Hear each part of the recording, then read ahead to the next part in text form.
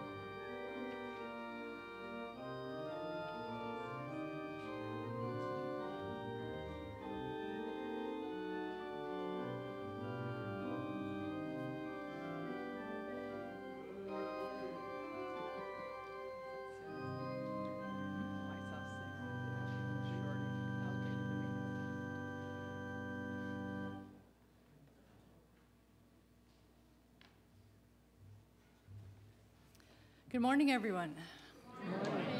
Welcome to worship today. A special welcome to those joining us online. And if you are visiting with us today, we are very glad that you are here. I have a few um, items of gratitude I'd like to lift up today. Um, thanks to the choir for leading our hymns today and singing. Uh, yesterday, we had uh, 14 leaders from the congregation and staff meet uh, in a retreat, and it was very good and very fruitful, so thank you for uh, coming and participating in that.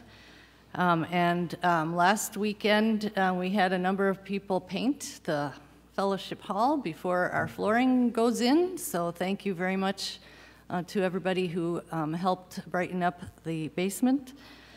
Um, and then finally, um, as you walk in, you may see the 40 and 40 collection, which is our Lent 40 items in 40 days uh, for Lakeview School uh, board games. Um, thank you to those who've um, donated so far, and you still have time. Lent isn't over yet. Um, if we can beat our 40, that would be great. Uh, they're board games for Lakeview School to use when there's indoor recess and um, other times that they would need those. So. Thank you, everybody.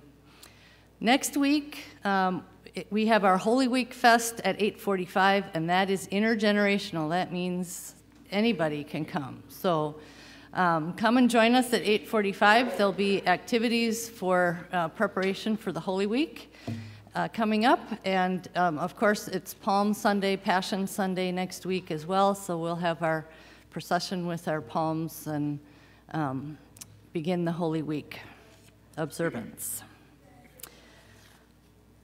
Please stand as you are able, and we will begin with the opening litany.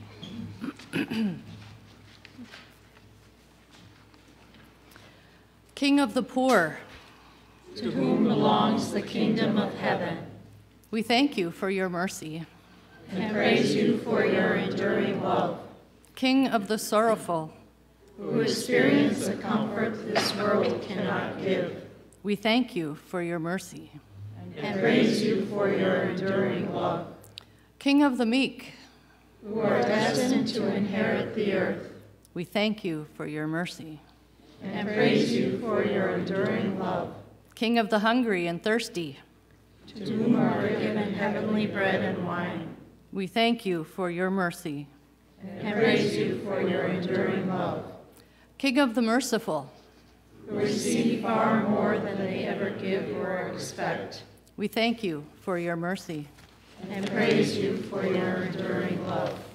King of the pure in heart, who see God where others see wilderness and despair. We thank you for your mercy. And praise you for your enduring love. King of the peacemakers, who receive the right to be called children of God. We thank you for your mercy. And praise you for your enduring love. King of persecuted believers, who rejoice to be counted worthy of suffering for Christ's sake. We thank you for your mercy. And praise you for your enduring love. Thanks be to you, God of Christ, our wounded King, for everything he has taught us, for the humble path he has shown us, and for all he has suffered for us and the whole world. For yours is the kingdom, the power, and the glory, forever and ever. Amen. Our opening hymn is number 408, Come Thou Almighty King.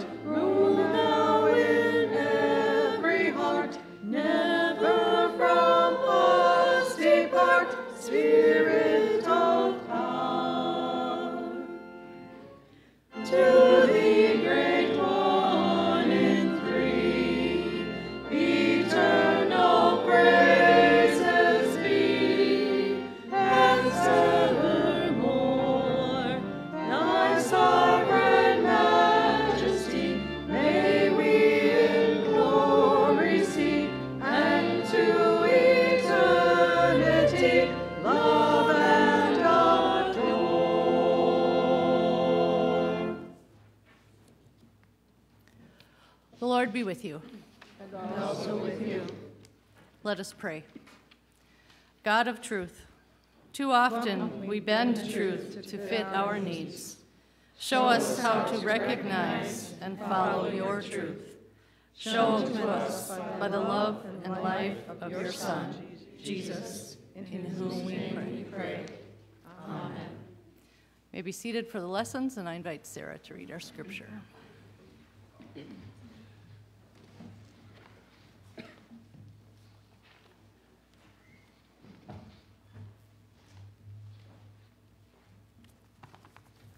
Good morning. Uh, We will read Psalm 145 responsibly. All your works shall give thanks to you, O Lord, and all your faithful shall bless you. They shall speak of the glory of your kingdom and tell of your power. To make known to all people your mighty deeds and the glorious splendor of your kingdom. The kingdom is an everlasting kingdom and your dominion endures throughout all generations.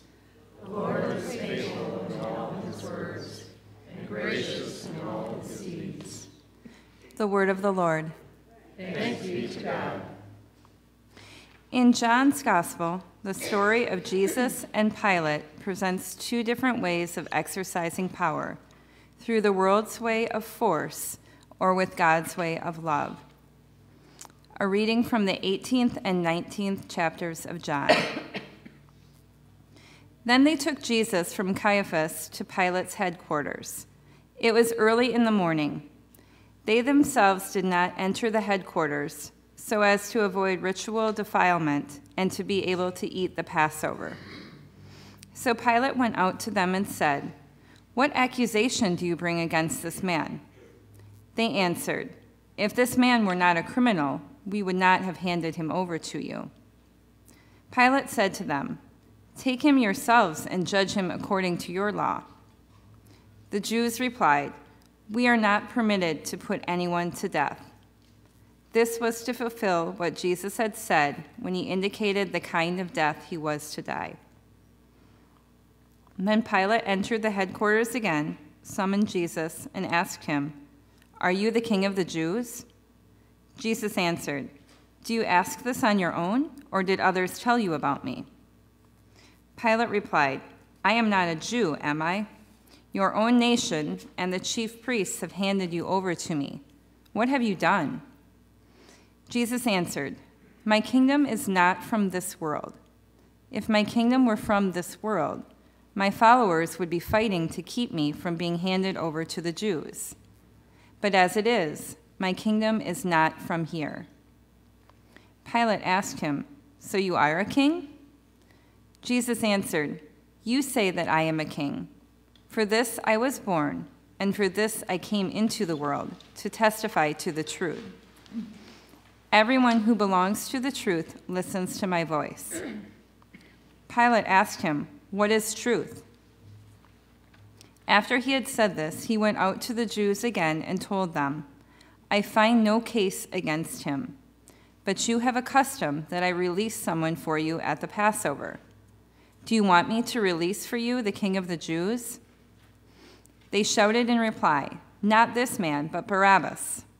Now Barabbas was a bandit. Then Pilate took Jesus and had him flogged. And the soldiers wove a crown of thorns and put it on his head, and they dressed him in a purple robe. They kept coming up to him, saying, Hail, King of the Jews, and striking him on the face. Pilate went out again and said to them, Look, I am bringing him out to you to let you know that I find no case against him. So Jesus came out wearing the crown of thorns and the purple robe. Pilate said to them, Here is the man. When the chief priests and the police saw him, they shouted, Crucify him! Crucify him! Pilate said to them, Take him yourselves and crucify him. I find no case against him. The Jews answered him, we have a law, and according to that law, he ought to die, because he has claimed to be the Son of God. Now, when Pilate heard this, he was more afraid than ever. He entered his headquarters again and asked Jesus, Where are you from? But Jesus gave him no answer. Pilate therefore said to him, Do you refuse to speak to me? Do you not know that I have power to release you and power to crucify you? Jesus answered him, You would have no power over me unless it had been given you from above. Therefore, the one who handed me over to you is guilty of a greater sin. From then on, Pilate tried to release him, but the Jews cried out, If you release this man, you are no friend of the emperor. Everyone who claims to be a king sets himself against the emperor. When Pilate heard these words, he brought Jesus outside and sat on the judge's bench at a place called the Stone Pavement, or in Hebrew, Gabbatha. Now it was the day of preparation for the Passover, and it was about noon. He said to the Jews, Here is your king. They cried out, Away with him, away with him, crucify him. Pilate asked them, Shall I crucify your king?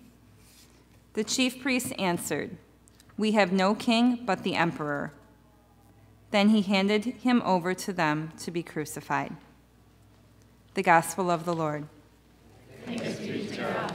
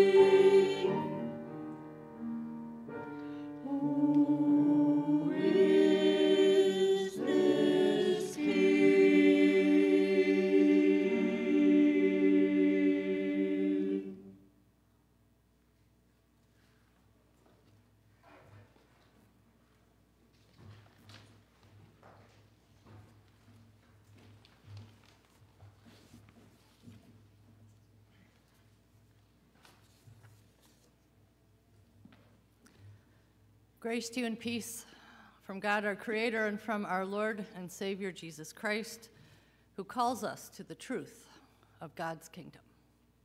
Amen. I learned some new things about Pontius Pilate this week as I was preparing for this sermon.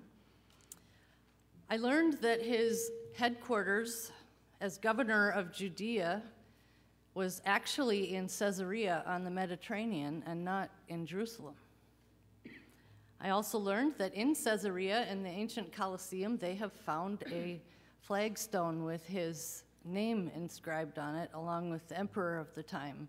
So his place in history has been solidified by the archaeologists.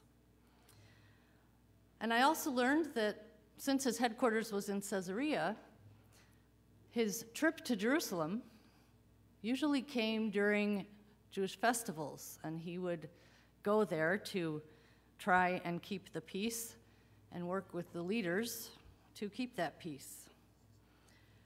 History records Pilate as a rather brutal and cruel governor. At one point, he is even summoned back to Rome to answer to the emperor for his cruelty. But this is not the Pilate that we see in the scripture today. The Pilate we just heard about in John's gospel doesn't know what to do with Jesus. He isn't decisive or overly cruel. In fact, he wants to release him. And Pilate and Jesus, in their encounters with one another, go back and forth, asking each other questions and never really answering them. Jesus and Pontius Pilate come from two totally different worldviews, two totally different places, two totally different allegiances. In John, Jesus is in total control, not the Roman Empire. Jesus knows exactly who he is. He's the Son of God. He knows exactly where he came from. He came from God the Father, the God of Abraham, Isaac, and Jacob. And he knows exactly why he is here to bring the truth of God's love and salvation to the world. Pilate has no experience with the God of Jesus, no experience with the God of Abraham, Isaac, and Jacob the God who sent Jesus, the God who loves the world so much, the God who wants nothing more than to save the world. Pilate only knows the Roman world, the Roman gods, a world of conquest, a world of peace through military might, a world of privilege built on the backs of those who are conquered and oppressed a world that has its own set of gods and goddesses and demigods who aren't much interested in saving the world. These are the two men who meet in Pilate's office or his headquarters in Jerusalem. One with the power of the world at his fingertips, and one with the power of God in his very being. Is Jesus a king? Not like the kings the world knows, not like the kings we know, certainly not like the Roman emperor wielding armies and conquering peoples and taking land. No, this king kneels and washes his disciples' feet. This king willingly dies to save the very world that he was a part of creating the world that he loves so much, yet puts him to death. This king is raised by his Father God so that all may have life, so that all may have that new life. This king loves you and wants you to belong to the truth. Did you notice that word in our reading today? When we read this passage in Bible study, it was the first time that I really noticed that word belongs to the truth. Jesus says to Pilate, Everyone who belongs to the truth listens to my voice. This isn't a factual, knowledgeable, brainy kind of truth that Jesus is bringing. This is a relational truth. A truth where Jesus is the vine and we are the branches. A truth where he is the good shepherd and we are his flock and hear his voice and follow him. A truth where the Father is in Jesus and Christ is in the Father and they are one and they are also in us. A truth where the Holy Spirit walks alongside of us and advocates for us. This is the truth Jesus brings to the world. That's also the kind of kingdom Jesus has, that God has. Not a kingdom of conquest and armies and violent power like we're seeing happening in the world right now.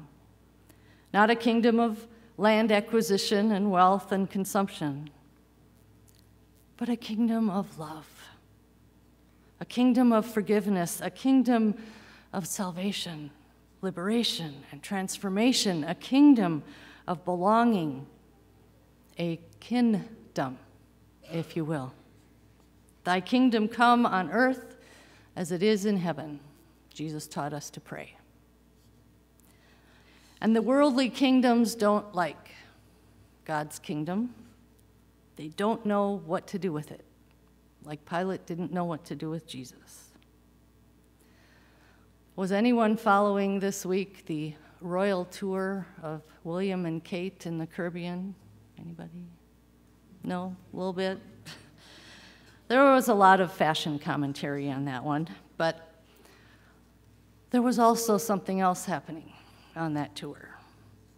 Much like our own country, there were also the protests and the calls for the United Kingdom to admit its part in the history of the slave trade and to make some kind of acknowledgement of the privilege they and we enjoy because of this history, and to begin to work toward reconciliation of some kind.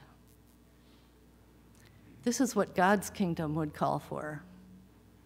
Yet we either don't know what to do with it or we don't want to acknowledge it and face it. Like the Pilate we see in John, in the face of the world's kingdom, Jesus ends up dying for it. I think we all have times in our lives when we are like Pilate as well.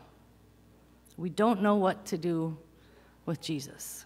We don't know what to do with this servant king who calls us to serve others, with this kingdom of love that seems to counter the world that we live in. What do we do with this king who calls us to love our enemies and pray for those who persecute us, who calls us to forgive seven times 70, who calls us to feed the hungry, heal the sick, set the prisoner free, comfort the grieving, and bring peace to a warring world? And to do this not merely out of charity, but through actual transformation. What do we do with this king. We listen to his voice and we follow. Jesus said to Pilate, Those who hear my voice belong to the truth. We live and love in the way that God's truth calls us, no matter how challenging, no matter how difficult. This is the truth we belong to. And when we live it out, we will begin to see God's kingdom on earth as it is in heaven. So, what do we do? It's our mission. We share the story of Jesus in our own lives so that all may experience God's love in their lives. Amen. Our hymn is number 338, Beneath the Cross of Jesus.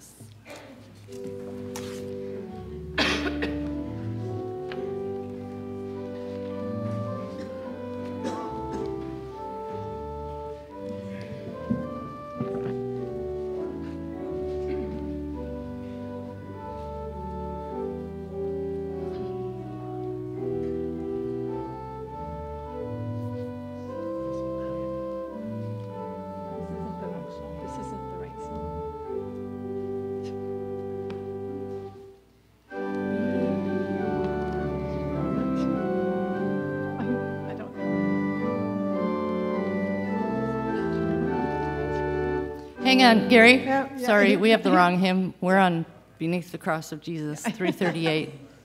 Sorry. Yeah, I, I think I know that song, but I don't know what number it is. There we go. That's better.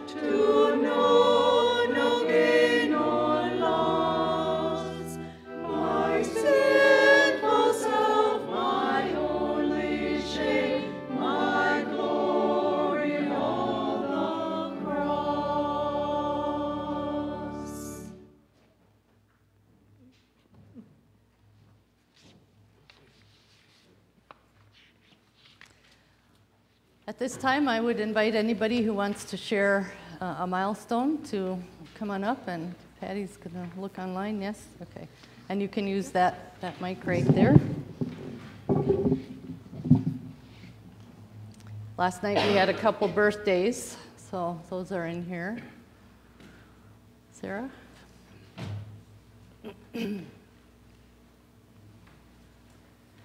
Um, I just wanted to um, say Shelby isn't here this morning, um, a little bit worn out. Yesterday, she participated in their solo and ensemble competition, and she sang an A level um, solo um, and received a one, which is the high, highest rating from middle school.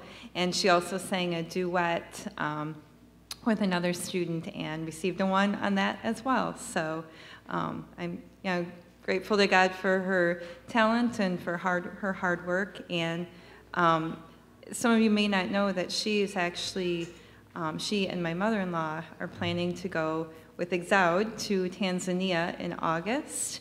Um, and um, I know she, I'm not sure what she's singing yet, but I know she's probably going to be singing in May for the fundraiser for, um, for Tanzania here. So you all might have another opportunity to hear her sing. Thanks.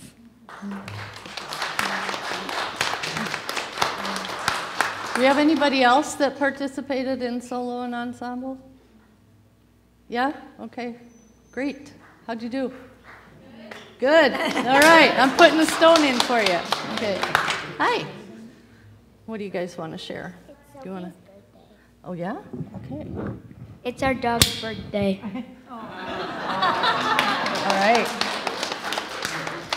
Okay. Genevieve, you want to grab a stone and put that in there? All right. Thank you very much.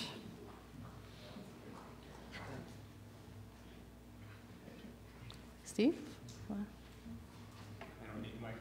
So on Tuesday, my lovely wife retired.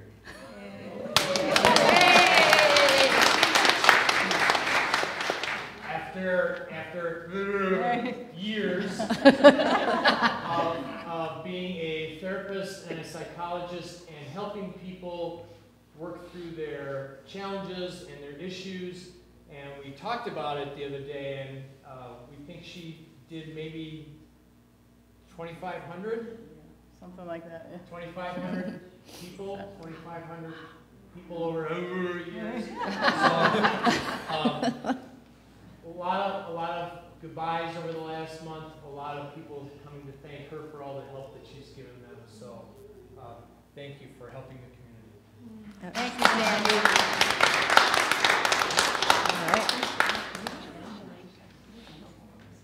All right. Okay, Frank and Lisa, okay. Uh, Last night, we celebrated my mother's 79th birthday. Nice. Frank, is there any online? Patty, no?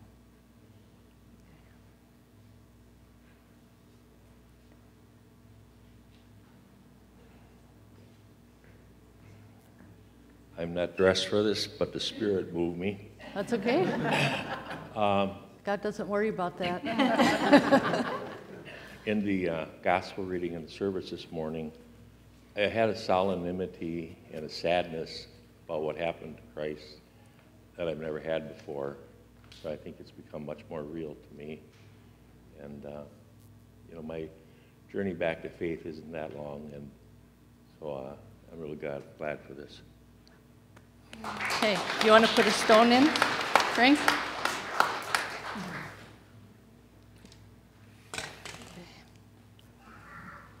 Anybody else?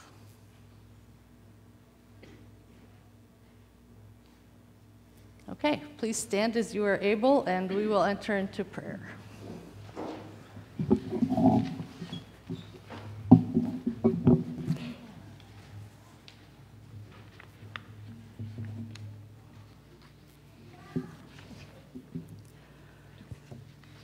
Drawn close to the heart of God, we offer these prayers for the church, for the world, and for all who are in need. We give thanks today for birthdays of all types and shapes and sizes and years. We celebrate the years, the milestones that birthdays mark in our lives, the lives lived, the memories made. We also give thanks for other milestones like retirement and solo and ensemble contest and all the people that we encounter and influence in our lives and how we can make such a difference when we are focused on your love. And we give thanks for journeys of faith, no matter how long if you've been on that journey for a short time, a long time, if you've strayed from the path and come back, it's all part of the journey of growing closer to God, closer to Jesus, and walking with the Holy Spirit. We give thanks for these milestones. Merciful God, do a new thing in the church. Free us from paradigms that no longer serve the gospel and bring forward leaders who imagine fresh ways of doing ministry. I give thanks for the leaders that gathered yesterday. Give us courage in the face of change. Merciful God. Do a new thing for creation. Reverse the trajectory of climate change and environmental catastrophe revive habitats already impaired by human disregard, amplify the voices of climate scientists and researchers working to chart a new course. Merciful God. Do a new thing in our world. Break barriers that prevent political enemies from working together for the well being of all. We especially lift up Ukraine and Russia. Make a way for peace and collaboration among the nations. Merciful God, receive our prayer. Do a new thing for those who suffer. Reveal a path for any who are unemployed or underemployed, for those experiencing homelessness, and for all who struggle with money. Comfort those who grieve and restore those who are sick, especially Bruce, Tony, Randy, Jim, Anne, Paul, Ray, Shannon, and all those that we name either aloud, in our hearts, or in the comments.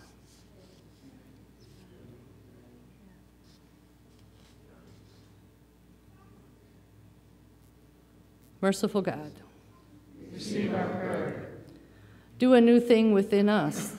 Direct us into encounters that broaden our understanding of the human experience. Amplify voices that are ignored or devalued, especially those of the poor, the meek, the grieving, the very young and the very old, the homeless, the unemployed, and the incarcerated. Deliver us especially from the scourge of racism. Merciful God, receive our prayer. Do a new thing in our death. Fill us with the knowledge of Christ and the power of his resurrection as we give thanks for all the saints who have attained the prize of their heavenly call.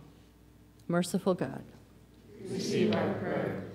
Accept the prayers we bring, O God, on behalf of a world in need for the sake of Jesus Christ. Amen. Amen. Uh, we will be bringing the offering forward, and as always, you can place that in the offering plate on your way in or out. Uh, we are also posting online our Tithely link if you'd like to give in that way online. Um, the instructions for that are also in the front of your bulletin. Please pray with me. Extravagant God, you have blessed us with the fullness of creation. Now we gather at your feast where you offer us the food that satisfies. Take and use what we offer here. Come among us and feed us with the body and blood of Christ, in whose name we pray. Amen. The peace of the Lord be with you always. And also with you. Please take a moment and share God's peace with those around you and with those online. Congratulations again. I know. I know it's hard. What? Oh, thanks.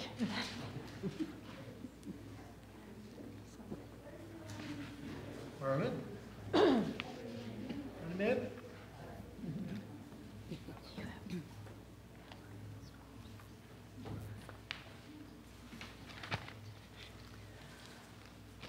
Does anyone need communion elements? If so, raise your hand.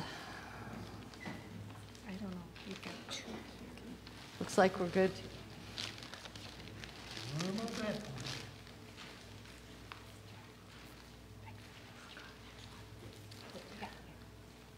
God's kingdom is not of this world. Our king does not look like the kings of this world. The truth is before us in the grain of the field and the fruit of the vine. With this hope, we remember that on the night he was betrayed, our Lord Jesus sat at a meal with his disciples. It was the Passover meal, a meal remembering your act of liberation. At this meal, Jesus took bread and he blessed it. He broke it, he gave it to his disciples, saying, Take and eat. This is my body given for you. Do this to remember me. Again, after supper, he took the cup and he blessed it and he gave it to his disciples, saying, Drink of this, all of you, for this is my blood, a new covenant poured out for you and for all people for the forgiveness of sin. Do this to remember me. Lord, remember us in your kingdom and teach us to pray. Our Father in heaven, hallowed be your name. Your kingdom come, your will be done, on earth as in heaven. Give us today our daily bread. Forgive us our sins as we forgive those who sin against us. Save us from the time of trial and deliver us from evil. For the kingdom, the power, and the glory are yours, now and forever. Amen. At this time, you can take your communion elements and take off that first layer. You will find the wafer there. This is the body of Christ given for you.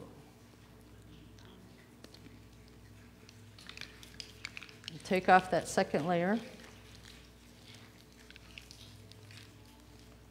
This is the blood of Christ shed for you.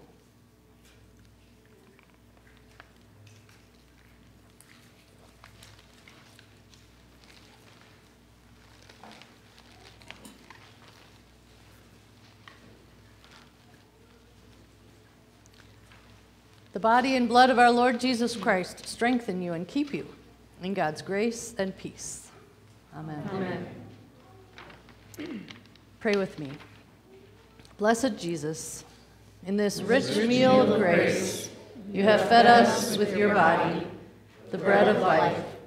Now send us forth to bear your life giving hope to a world in need. Amen. Amen. You are children of God, anointed with the oil of gladness and strengthened for the journey. Almighty God, motherly, majestic, and mighty, bless you this day and always. Amen. Amen. Our closing hymn is number 398 Holy Spirit, Truth Divine.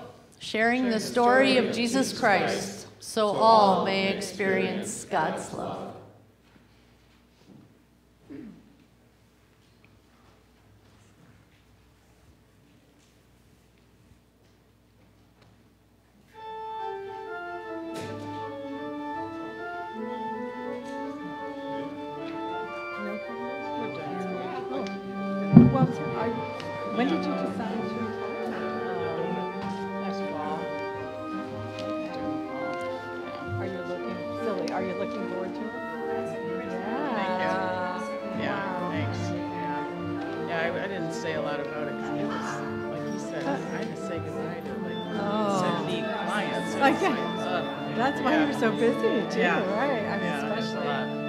That's got to be hard. So when was your last day? Tuesday. Yeah. Yeah. Uh, still somebody, I still have like 60 uh, summaries to write on clients to close out oh. the charts, so I'm oh, not, no. not done done yet. No, no, just. Yeah. that's a hard decision to make.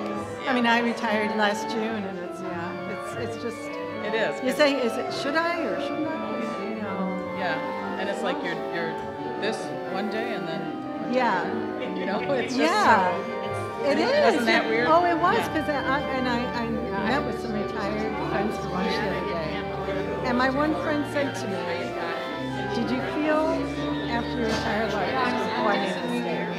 I said, "Yeah, I did. For a little while, I did." But she said, "Be careful because she's going to retire for two years." She said, "Don't look through those rose-colored glasses. Try to remember." Try to remember the bad times and the happy times so it keeps you saying, I did the right thing. So I thought that was And good it needs advice. time, you know, Oh, it does. Everybody's, sit with it, right? everybody told me it takes about a year because I'll be happy to say I worked 35 plus years in either education or downtown and other jobs. And being in that stressful position for so many years and all of a sudden, it's a whole new life. Yeah. So it does. I think it takes your body and mind Yeah. a while. But I'm um, still waking up yeah, I mean, I know. Well, if you ever want something to do, I'm, I'm around. So Okay. seriously, give me a call and Yeah. give Mark a call. He don't mind. See, I have to take care of this guy. I told her she can call me anytime now that she's here. You can. You know, You actually, you, you were planning. for she was. She And you didn't say a word, you didn't give any glimmer, other than you,